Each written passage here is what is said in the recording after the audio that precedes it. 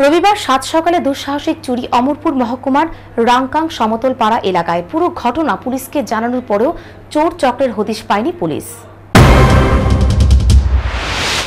সাত সকালে চুরির ঘটনা অমরপুর রাংকাং সমতলপাড়া এলাকার বিজয় রুদ্রপালের বাড়িতে।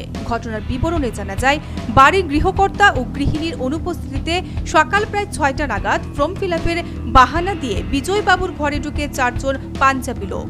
তখন ঘরে ছিল বিজয়বাবুর পুত্র সায়ন। চোরের দল ঘরে ঢুকে সায়নকে বলে যে উনারা ফর্ম ফিল জন্য এসেছেন এবং সায়নকে বলেন তার বাবা মাকে ডেকে আনার জন্য।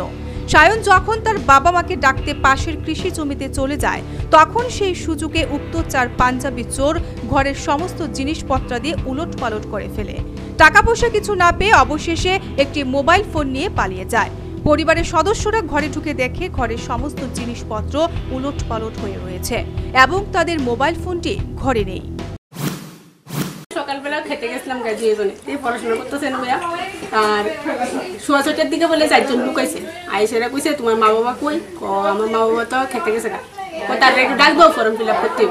এ কথা কইছে গেছে ফর্ম ফিল আপ ডাক দিতে বললাম, মা, তোমরা কইছে ফর্ম ফিল আপ করতে আইসেরা দেখি, আমি তো গদ্দর বিছনা টিছনা সব গুছাইয়া জ্বালা টালনা সব খুলে গেছি গা আইসেরা দেখি, আমার বিছনা টিছনা সব উলট ফলট স্কিপ খোলা তারপরে জানলাটা বন্ধ।